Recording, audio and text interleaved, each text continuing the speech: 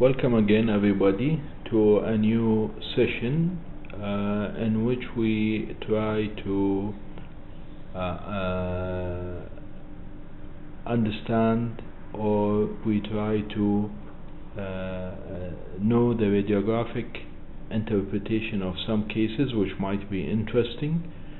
Uh, to in our daily work and one of the uh, interesting cases as you can see in this OPG is the radiographic appearance of uh, that proves or that indicate uh, of, of radiographic features that would indicate a close relation between the apical part of the uh, root or the apex of the root and the inferior dental canal. In this OPG, of course, uh, uh, what you can see here is can see here is a, a, a radiograph uh, of a patient with uh, multiple uh, lost teeth. This is not our concern now. What we are concerned about is the two uh, mesioangular impaction of the left and right third molars.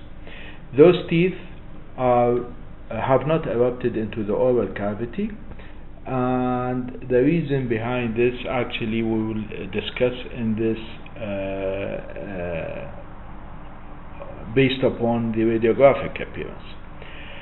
If we start from the left side, we will see that we first of all, if we want to understand, we have to the, know the anatomy, of course, and we have to locate where is the inferior dental canal.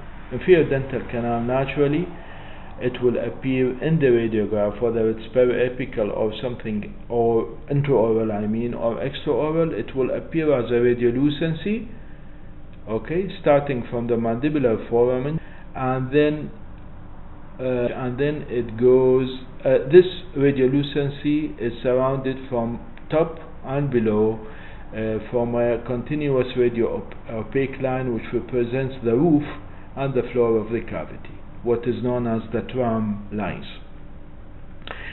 Uh, this canal, when it passes in the mandible, it especially when it goes cl close to the uh, third molars, it should not change its direction or course. But as you, unlike what you see here, you see that, and speaking of the lower third molar, we see that the inferior dental canal starts normal, and then when it reaches close to the apex of this impacted tooth, it will change the, the, the course and then continues normally up till here and then it loops and opens into the mental foramen. So let's have a look at the uh, this part and you, as you can see first of all there is a change in the direction.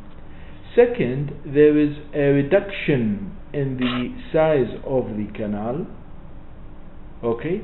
Three there is loss of the superior border of the uh, of the uh, of the roof of the canal. Okay and you can see here that there is also blunting of the tooth. It's, it's not the roots. The apex is not as sharp as the uh, lower uh, six in this case. Let us concern first of all on the canal. So there is a change. One there is reduction or narrowing of the canal and there is loss of the upper tram line of the canal all these will indicate that there is a close relationship or there is a that the canal is passing very close to the apex of the impacted tooth. Okay? If we go to the left side, we will see that almost the same uh, uh, criteria or the radiographic criteria are present. This is the canal, okay? One, there is a change in the canal, course of the canal. Two, there is a severe narrowing here. If you compare it to the other side, this is even more. It means that the canal is compressed by the apex of the tooth. And of course, there is the loss of the tram line. In some cases, in some cases you will see severe indentation or severe radiolucency at the apex of the root, which means that the canal is passing either through the roots, which is unlikely, or it passing between the two roots. In this case, we don't find it.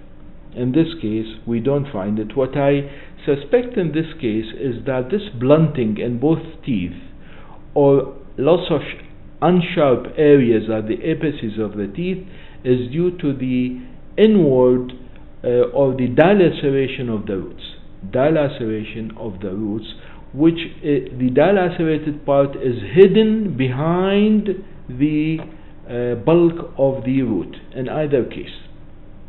I think this is the cause behind or why the two teeth are impacted and they have never erupted. Plus, of course, the thick bone which is covering the crown of the teeth and in both cases by the way this is uh, hard tissue impaction there is no soft tissue impaction and the evidence of bone is seen in both cases. So to summarize the radiographic signs that would indicate the close relationship or close relation or close proximity of teeth apex particularly particularly of the impacted tooth to the canal is one, uh, change in the direction of the course of the canal, two, uh, narrowing of the canal, three, loss of either one or two of the tram lines, and four is related to the tooth. You will see that there is a, a very dark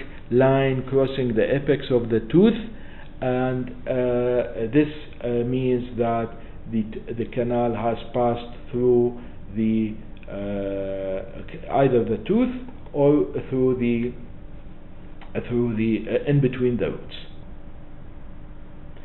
If you compare this, these teeth are extracted. This is another case. You see that this is the, the canal. The canal passes here all the way and then it loops back. Again, this is also an impacted, horizontally impacted molar. You see it's very far away from the, from the canal. This is the canal with no change, uh, no narrowing, no uh, uh, uh Uh, loss of the, of the tram lines. It means that the tooth is located far away from the canal. Another case over here, I want you to have a look on this side, the right molar. You will see that the canal has not changed its direction, one, it has not lost its there is no narrowing in the canal, plus that the roof and the floor of the canals, both of them are still intact, and there is no uh, severe indentation of the apex of the root. It means that this tooth is, or the apex particularly of this tooth, is located away from the canal. In other words, this what you see here is actually the superimposition of the canal because this is a 2D image, the superimposition of the canal over the roots, over the roots. But there is no change uh, uh, in direction. There is no narrowing. If you if you look at the left side again, this is the canal over here it goes and ends into the mental foramen, extends anteriorly. See the canal concentrate on this area. No narrowing, no change of the direction, no uh, loss of uh, tram lines. Okay, it means that this tooth, the apex particularly, is located away from the canal. If we go back to the case that we have started with, okay, you see that almost all criteria are present in uh, in uh, in uh, this, which means that if you're going to extract either one or both of these two teeth, you should be aware of the risks. Now, if this case comes to your clinic, I would advise that you will do an occlusal radiograph 90 degree from down so that you will see the direction of the roots, apex of the roots because I suspect dilaceration in both teeth uh, so that you would know which side uh, or towards which side the roots have been dilacerated. What I suggest is that this root in particular has been dilacerated in this direction, so it is dilacerated uh, in a distal direction. And the same goes for this one. See this one, then and you lose the uh, you can't find the apex or the borders of the apex. I suspect that this tooth has apex of the tooth has been dilacerated in a distal direction. Thank you very much.